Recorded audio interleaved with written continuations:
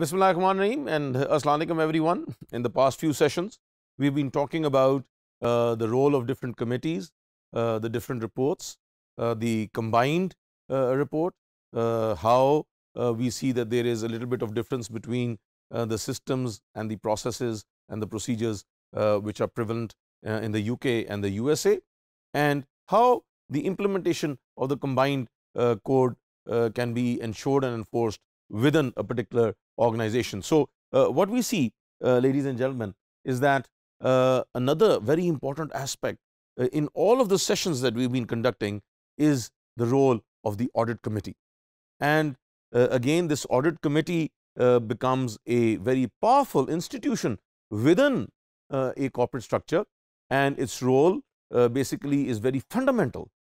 in the rollout and the assurance and insurance of the corporate governance stipulations. So, this audit committee has a pivotal role uh, in the whole corporate governance structure which exists within organizations. Now, uh, what we see is, is that uh, ladies and gentlemen that the audit committee all members are independent non-executive directors INEDs and most importantly the chairman of the audit committee should be an INED that means an independent non-executive director. There can be one member of the committee at least should have financial expertise and outside uh, professionals can also be hired if necessary if we see that the members of the uh, audit committee do not have the uh, level of professionalism, do not have the exposure or do not have the, uh, the accounting and the auditing regimen uh, or understanding within them. So, those outside professional or experts could also be hired to ensure that the functioning of the audit committee uh, is done in a proper way without compromising upon accountability and transparency. Now,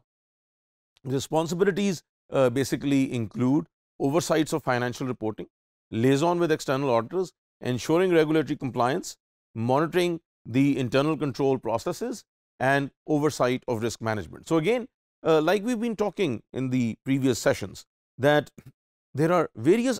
aspects of the corporation or the corporate body or institution uh, which need to be regulated and also reviewed on a regular basis. So, uh, the most important thing is, is the financial reporting which is seen by the committee. Uh, also the fact that the internal auditors cannot work uh, in total isolation, but they can liaison with the external auditors with the help of the committee uh, ensuring regulatory compliance uh, across the board in all the segments and amongst all of the stakeholders monitoring internal control processes very important not only financial, but like uh, earlier said all internal control processes uh, have to be monitored by the committee and then an oversight of risk management to ensure that the uh, future of the organization is more stable and more predictable. Uh, the terms of reference basically that are stipulated are that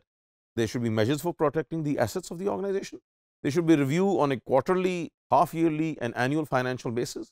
The External auditor should be facilitated by the audit committee. There should be assessment of management uh, letters and also guaranteeing free communication. So, all of these things have to be ensured uh, by the committee to ensure better functioning, better working, better performance, better productivity of the organization on a long term basis uh, by again minimizing risk and optimizing performance. Uh, another thing that we see is, is that there are certain best practices and that basically is about managing its own agenda, the frequency of interaction between the management, uh, regular executive sessions and regular evaluations. So, these different best practices ensure that the audit committee works in a better way and that it is further strengthened and reinforced uh, in these uh, key areas. Uh, the best practices have been established in different regions and based upon those best practices, uh, these are the areas which the company and the